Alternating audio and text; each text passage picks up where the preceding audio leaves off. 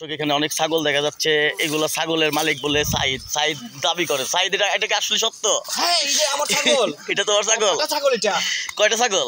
পাঠা এটা। পাঠা পাঠা ছাগল দেখি দেখি। দেখি পাটা না দেখি দেখি দেখি এর কি পাটা না দেখি দেখি। এর কি পাটা?